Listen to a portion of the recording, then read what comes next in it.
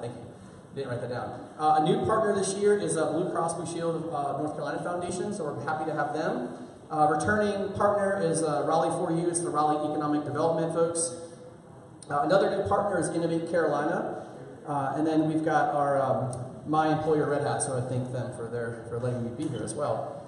Additional partners include Data.World. Um, if you are here for the Open Data Competition, we've got some really cool stuff on the Data.World portal. Uh, we've got a, a, team of folks collecting a bunch of data that goes into some of the challenges we'll, you'll hear about later on. Uh, we have Ipreo. They're in the, uh, the Raleigh's largest fintech company. Fintech, got to know the lingo. Um, we have All Things Open. This is the uh, large open source conference that's happen, happening October 22nd 23rd at the Raleigh Convention Center. Uh, we're hoping to have 3,000 people at that event this year. Uh, Todd Lewis will be here tomorrow to give you more information about that. Uh, we have another new partner, Pendo. HQ uh, Raleigh, we got to give. Let's give pause here and give a huge shout out to HQ Raleigh for hosting the space and for being a great partner.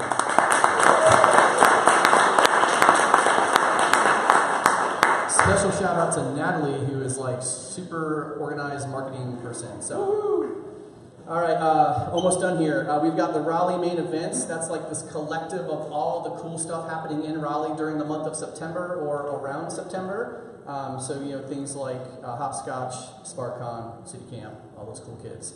Uh, we've got the NC State Poole College of Management, the Entrepreneurship Clinic. So, uh, Lewis Sheats uh, runs that program, and so if you see him, ask him more about that. we've got Reveal Mobile, who's got some some goodies for us on the, uh, on the hackathon side we'll test out on Saturday. And then our uh, final partner is Elastic IO. So uh, give a round of applause to all of our partners, please.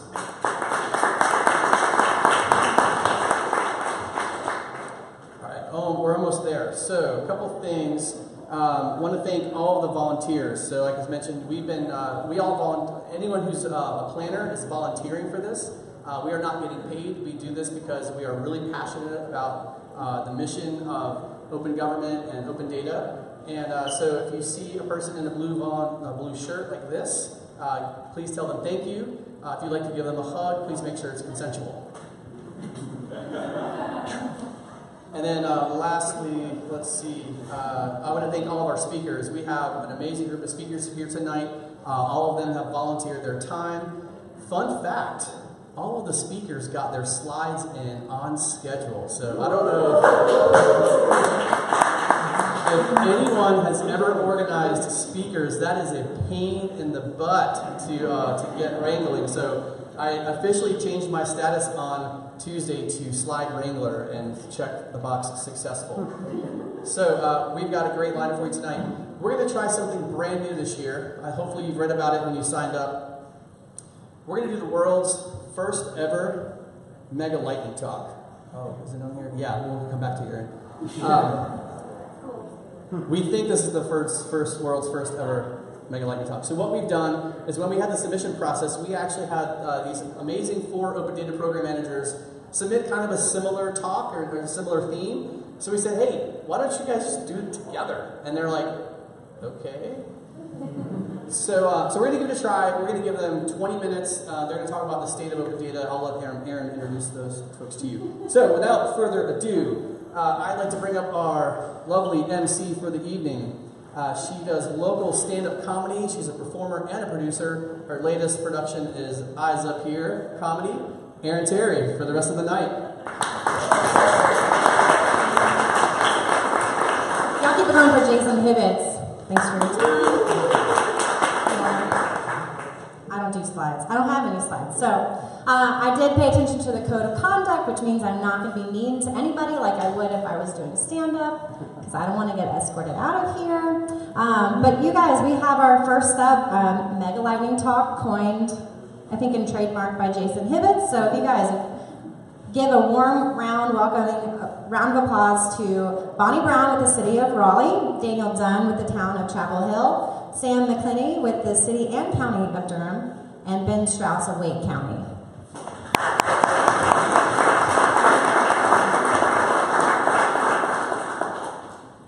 Yeah, and so we're going to just kind of go one by one here and uh, each talk about what we had originally planned to, and then at the end, I think we're each going to take 30 seconds and kind of give a brief call about what we think people should think about as far as open data going forward. So my talk, uh, Welcome to Open Data 2.0, I think is a good start because it kind of covers a lot of what they're going to cover, just thinking about open data past the idea of transparency. So in the past, open data was very much seen as a product, raw and unfiltered, and was just thing, uh, seen as just kind of this thing we put out there for the effort of transparency, and that was it. You know, we weren't really looking at it as much as what we could use it for, and it was just saying, here, residents, here you go, here's what we have. Um, and now it's something different. It's a service. It's curated. We're thinking about what can we use this data for besides just people using it as a transparency tool. And so, um, what is Open Data 2.0? It's thinking about things as open by default, something very common in open source. You know, it's agile, responsive, and holistic. You know, it benefits not just residents, but also departments. Um, within the city and county of Durham, we're thinking of how can we use open data to improve the services we offer. And then it's founded on the idea that education is key, using open data to benefit what we're doing as kind of an organization.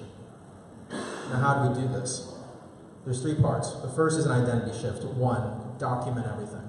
Um, you know, what you don't want is to ever try and reinvent the wheel or repeat effort. And so always document stuff. Align your goals with other departments. So what are other departments doing where open data can benefit them? And making sure we're doing that. Uh, visualizations and dashboards. One thing the city of Durham did, and the county actually recently, was we released our resident survey data, and we had an individual who put that into a dashboard that could then be broken down by race, gender, income, and so we can find groups that aren't receiving services as well as others are. And finally, communication is key.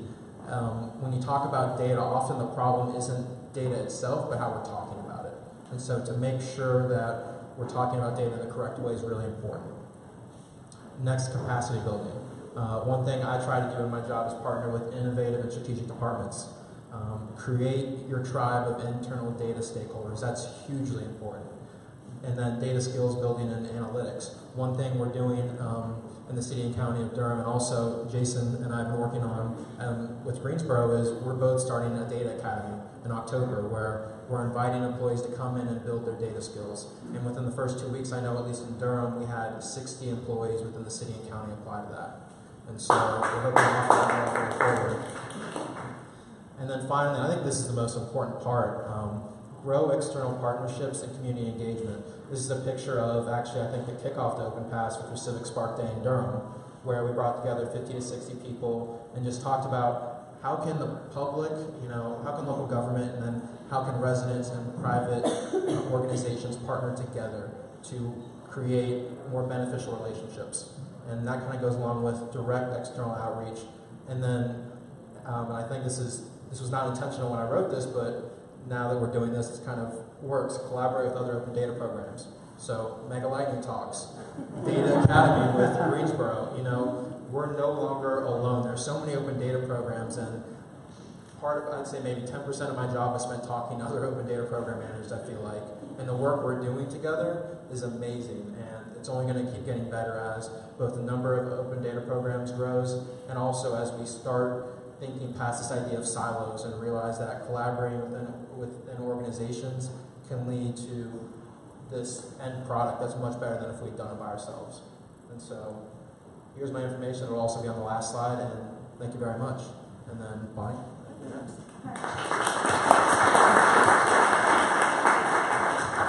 So my slides were on time because I don't have any. Uh, so my name is Bonnie Brown. I'm the Enterprise Data Manager for the City of Raleigh, and we kind of take care of three things. We deal with all of the database and infrastructure side of things. We do internal reporting, so all of the analytics for the whole city, really. Um, so we work with every department, all 19 departments. And then we have the open data program. So we have three different pieces all being managed under the same small group, two fourths of which are here today. So it's good. Um, so I'm going to talk to you about data's life story. So in 2017, IBM had an article where they talked about um, data without a story is like a palette without painting. So it's a little esoteric, I know, but really, if I handed you a palette of paint and I was like, that's an awesome blue, you're like, yeah, it's blue, whatever. Um, but if I painted it in the night sky, you'd be like, oh my god, that's fantastic. And it's the same same thing with data, right? So I could hand you a big thing of data with no insight and no information, and like, oh, that data is awesome, but what does it mean? What does it do?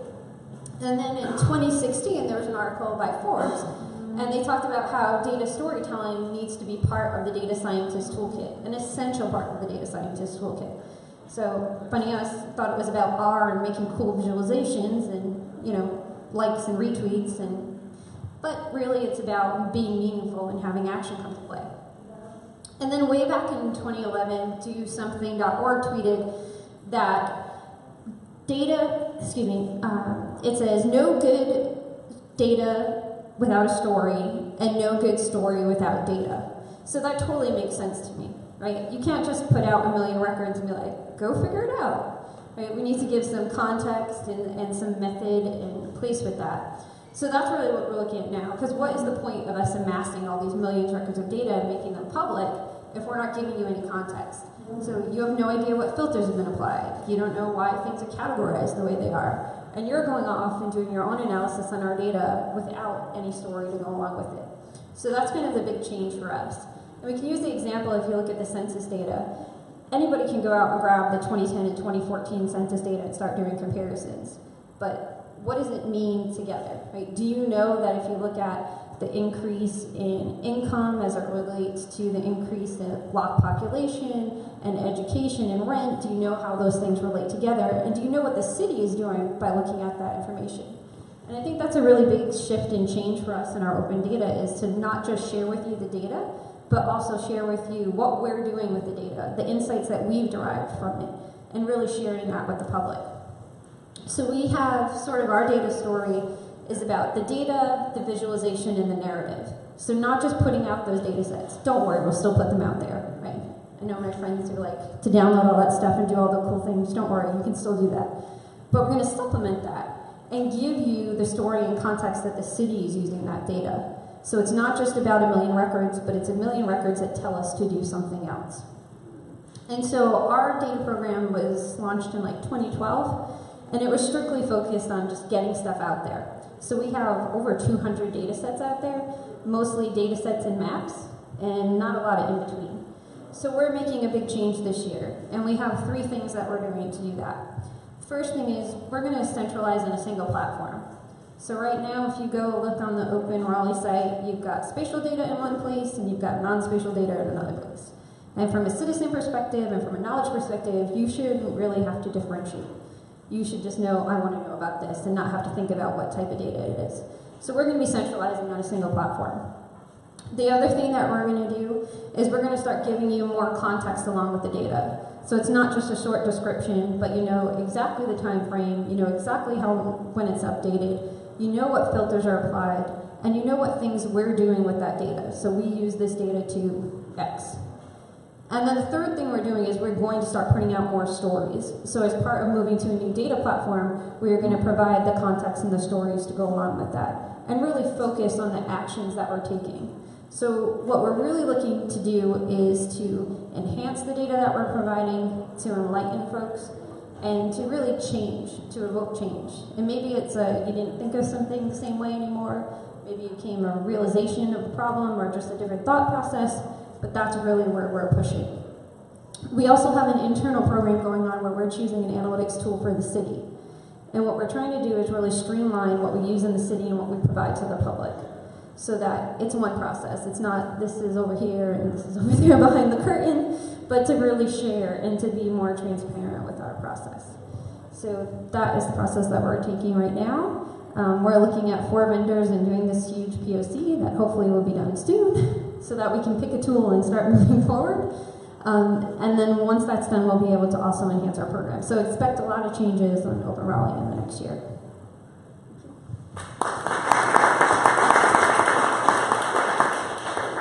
Thanks, Bonnie. Hey, City Camp, how's it going? Uh, my is Daniel Dunn. I'm a business analyst uh, for the town of Chapel Hill. Um, I help manage the open data program alongside David Green uh, at the library. I'm going to be here today. Uh, one of the unique things about the Chapel Hill Open Data Program is that it is managed out of the library. Uh, so libraries are trusted public institutions now. Um, and our MO at Chapel Hill has been to publish as much raw data as possible without interpreting it for you. Um, a culture shift we're seeing in the town right now is that uh, staff isn't actually asking for data. Um, so uh, they're asking for data to make material, uh, material-driven decisions, data-driven decisions, and that's really inspiring um, because it means staff is starting to realize the potential of data. Uh, so uh, along with that, uh, as we procure new systems, we're also taking a look at our contracts uh, for our new system, So we're including language that says, yes, the town does own this data, and therefore the public then owns that data. Um, so going along with that culture, uh, one of the things we're working on right now uh, to demonstrate value across the town is dashboards, real-time dashboards. Um, so we're actually going to be able to see in real time at the library uh, you know, how many books are checked out, how many patients are coming through the door, and really operationalizing that data in real time. And we're using this as a proof of concept, and hopefully if it's successful, uh, we will then uh, move that out to other departments and expand that. So uh, any open data program must be sustainable, and by sustainable I mean we don't have people manually uploading CSV files into our portal. Um, so what we've done, of course, is you know built automated processes, uh, and so our ETL scripts uh, to uh, transform the data and load it in our open data portal all, are all available on GitHub now. So if you're using Nextbus or any of the other systems we have, go ahead and fork it. Uh, please do. Um, public money, public code. Amen, right? Um, so here's a quick plug before I close this up. Um, for a project from that was originally funded uh, with a Back Foundation grant. Um, so this will actually collect uh, anonymized visitor data and generate a heat map. Um, and what you can do, you can actually get uh, Raspberry Pi. Yeah. Um, so for less than $100 uh, per device, you can get a visitor count and a heat map of pretty much any room or building. And this was huge for us because we are uh, under financial constraints at the moment. Um, so we've had a few departments asking for sensors, and uh, this seemed to be a good uh, direction that we could go to meet that need without spending a whole bunch of money.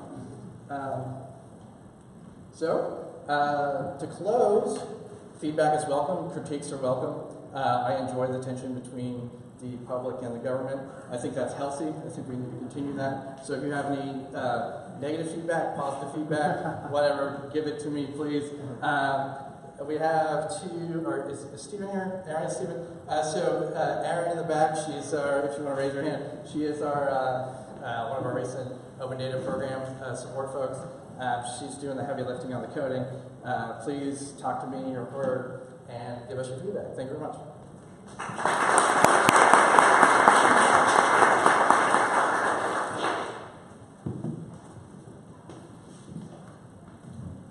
So last one for this mega lightning talk. So my name is Ben Strauss. Uh, I am a GIS uh, analyst at Wake County, and I'm the technical lead in our open data site. So as my co-presenters have talked about, we're moving past just putting data out, and we're talking about what can we do with the data.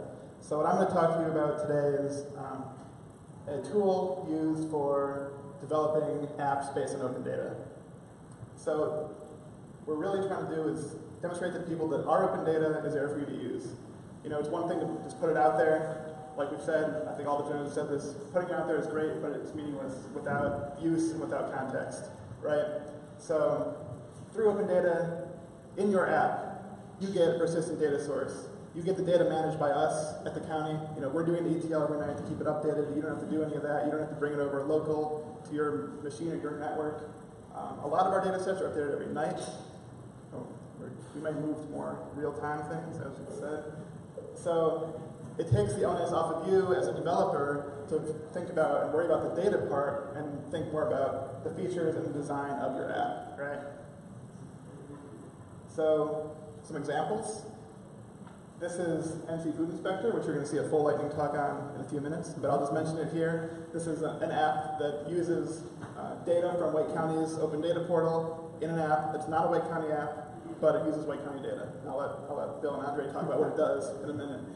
Uh, another example here, this is a Wake County's library app, and again, it's not an official Wake County app. It was developed by uh, just a guy, he works for NCDOT, and he decided he wanted to, in his spare time, not as an employee of NCDOT, in his spare time, he wanted to make an app. And so he used our library data from our open data portal, and he made an app where you can go and check out the library information, pictures, hours, events. And again, it uses our data, but it's not our app. So I'm going to talk about this new tool in Esri's open data platform. Uh, in Wake County, we use the Esri platform for open data because it comes through our GS department. We already had Esri available to us. I know there's also an API for Open Data Soft or Socrata or whatever API or whatever open data platform you're using. I'm going to talk about Esri's because that's what I know. so uh, Esri's Open Data 2.0 platform has this new API Explorer, which makes it really easy for you to go to a data set, generate a URL, and drop it into your app. So when you come to a data set, this is our uh, a parks data set from our open data portal. Click on this, open, this API Explorer. Um, you can automatically choose uh, a query. So I have a query here, I'm looking for parks that have disc golf available at the park. And then the fields that I want output, and it generates a URL for you. So you don't need to worry about figuring out uh, all the specific specificities of that URL. So next you can choose spatial inputs. Esri is a spatial platform. If you want, if you want the API to return the geometry of the point locations to you, you can do that. Spatial filters, etc., etc. And everything you do here is reflected automatically in your query URL up there. Again, uh, the last screen here, option outputs. Just a bunch more options for um, distinct features, etc., etc. And again, your URL queries can get really, really complicated, but you don't have to worry about that. You just click the buttons and it generates it for you. And you just take that URL, drop it in your app. Makes it really simple. So once you generate that URL, how do you make an app? Some basic options. Um, Leaflet, Mapbox, or open source, Google Maps, the Esri has its own JavaScript API, which plays really nicely with it, obviously. Or, you know, it pains me to say it, I'm a GIS person, but you can make something without a map at all. uh, the data is just data. It's a JSON response, right? It comes with geometry if you want it. If you don't want geometry, you don't need to have geometry, right? So, that is my presentation. What we're going to do now is talk about what's, what are we doing now for open data. So we're going to kind of, yeah We just want to get everybody up here. Yeah, we can everyone stand up. So we're going to talk about real quickly in the last, um, I don't know, two minutes here, three minutes. What, what now for open data? What's coming next? What do we see happening in the next few years with open data? So um, my co-presenters to talk about you know, real-time access, transparency, metadata. I want to mention uh, multi-jurisdictional open data as well. You know, we're, we're all up here as representatives of open data platforms from local government. Um, we have, on Wake's site, we've federated with a number of our local municipalities to bring open data into one spot so that um, our consumers don't get the, the multi-jurisdictional fatigue of having to track down what data sets belong to what municipalities. So moving forward, that's going to be important. And uh, I know at Wake, the other thing we're looking at doing is real-time dashboards and real-time data updates, as you mentioned. Yeah, I, would echo Sam's sentiments from before about um, how the government is going to start using data more and more, and that's the push we're going to see. We're going to operationalize the data, and it's not just going to be this uh, method to facilitate transparency, um, but it will be a push to actually get people making better decisions. So the city's commitment in creating my department sort of shows what they're going to be doing with data in the future and picking an analytic tool and standardizing on it and really reevaluating our open data program. So, um, like some of the others said, we definitely want your feedback and comments and things that we're missing that we don't have out there in our program and things you'd like to see. You'll see a lot of new things from us in the coming year. Um, and finally, I think, and I was fortunate enough to get to give a similar talk a couple of days ago that Jason was at, um, where I talked about this, and I just think rapid engagement, honestly. I think more and more people are going to be engaging with open data. We're going to be communicating more around open data, and the conversations are going to be happening faster and in more meaningful ways. And with that said, I want to make sure to point out that Noel and Stephen, who are both from the Sunlight Foundation, are here. Stephen, I know is going to be talking tomorrow, but they just released a tactical engagement guide. Is that correct? And so if you want to talk about engagement around open data, definitely talk to them. And if you want to talk about engagement with us, here's our information. We'll be around and feel free to get in contact with us. Thank you all very much.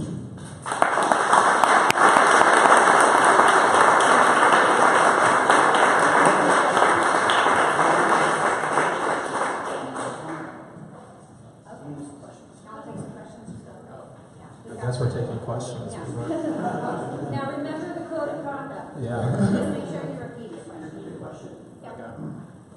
No, well, I, I, I mean, I'm planning here to ask us, but Excellent logo. So I think my first question is, is what are you, what is being done to sort of, because oftentimes when you work with, uh, cities, uh, sometimes they'll say that they're, they're people looking for data, and I think it's more a question maybe for the county level.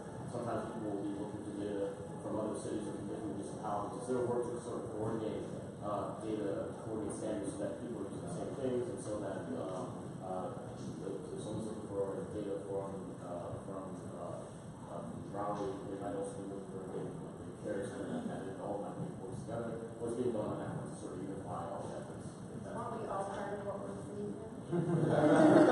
So um, the question was pretty much what work is being done to standardize data and kind of bring together data across multiple jurisdictions so that they're in a common format. And so um, I don't know if all of us, I don't know if Chapel Hill was a Wilbur City, and then and then Wake's a county, but um, I know. I mean, I know we're having more conversations now about it. I know we have um, a Slack now, data Slack for North Carolina cities, where we talk about these kind of things. And I know stuff like, not to plug another partner, but data.world, um, platforms like that allow us to bring together data across multiple, from multiple places and at least see what needs to be done with that data to kind of put it in a common format. So I know that's what we're doing so far. I don't know if anybody knows. Yeah, and I'll just say from the county level, um, what we're doing is, you know, if you're looking for a data set from Raleigh, you can go to Raleigh's open data site and find that there. But you can also come to our open data site with the counties because at, in our county portal, we've federated Raleigh's data, Wake Forest's data, uh, Cary's data, and Fuquay-Varina's data, and we're working on other municipalities as well. So we're, we're making an effort to get it all in a kind of a one-stop shop. Anybody else? Quick question? Yep. What kind of challenges do you all have you faced with getting departments in your city to actually make some data public?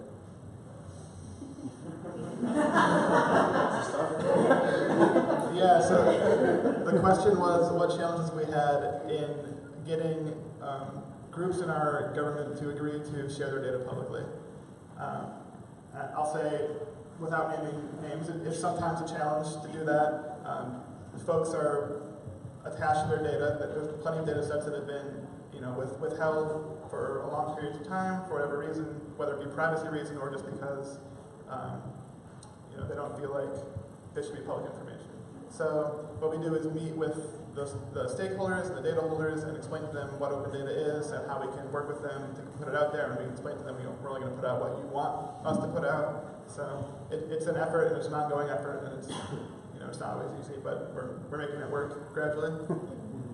Talk a little bit about that too. So from our perspective, we're changing the focus. Before it was um, run by Open Data Manager and their whole focus was open data. Now that internal data is also in the same group, we help them fix their stuff and work on their stuff internally and then say, hey, can we take this subset or this picture or whatever and release it to the public? So we're focused on their internal and then sharing external. Instead of going straight external, it allows them to get comfortable with us and the process and a, and a little bit more engagement. Yeah, I would add to that um, that demonstrating value helps, and also uh, what we have done is kind of pointed to the police department. Uh, police department has actually come to us and said, yes, we want to publish this. So hey, the policeman, the police department is doing this. You know, what's what's uh, what's the issue here with, with this other data set? So. So two quick things. One, uh, just real talk. Any 14 year old now can find your data if they really want to and they'll get it. That's not how I would pitch it, but if, if the nothing works, you can just say that to them. But yeah, I think what they were saying about, and this kind of goes into his move to Open Data 2.0. Um, yes, there's this thing on transparency and people wanting to audit government and figure out how to better government and find things that are being done wrong. But a lot of people just want open data so they can help, or they want open data so that they can do their part, and whatever that means to them. And so, one thing I kind of struggle with at times myself is the cynicism we have for residents at times when it comes to data and public information. And so I think if we can transition local government, state government, federal government away from this cynicism of what residents can do and instead focus on the benefits they can bring, um, I think you really make a transition there into what open data can bring as far as value to both the residents and the entity that's releasing it. One more question? What is being done, if anything, about um, governments using the data for not so good purposes? Is anything being tied directly to uh, traceability of the data because like stats and are easily to are easily manipulated to say whatever you want them to say? Right, so pretty much, what are we doing about bad actors in government with data? Um, and this is a good point, and especially as we move into data-driven decision making and value-driven decision making, and we're using performance metrics. Um, again, I won't name names, but you know there are people who are fudging numbers to show that their department's producing more than they are. Um, and here's what I will say: you can fudge your numbers, but if a resident's smart enough to know if you're not doing your job, and they will come to a council meeting and let you know and then somebody will do the due diligence. Uh, and, and, again, that, I think it goes back to being cynical about what residents see and don't see. But I think having honest conversations about using data not to audit departments, but to better departments, I think is a really key point and a really important transition we need to make as far as how we have this conversation about data. So there's a stewardship part of this. We don't actually own the data the citizens who we service really own the data. So it's all about accountability and standardization for us in order to have that. So if we're using certified data within the city to make our business decisions, that same certified data should be available on the public site. And so there's really no way to go in between. If you have the data, the visualization, and the narrative all together, then there's no way to budget, right? You can look through the pieces and figure it out. So we're relying kind of what Sam was saying is that the education, especially in this area, on the citizens and the people using our data is actually really high, right? These are people who are taking it and, and making informed decisions from it. So we have that accountability on us to do that internally as well and to share those same best practices to our open data program. Yeah, I can speak for the Chapel Hill insofar as uh, if it is illegal to publish, uh, we are going to publish it. Uh, so if we provide the raw data.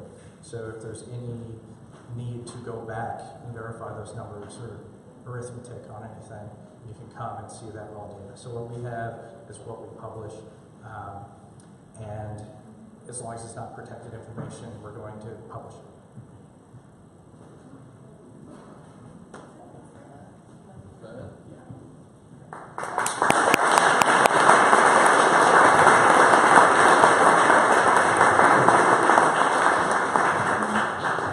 Okay.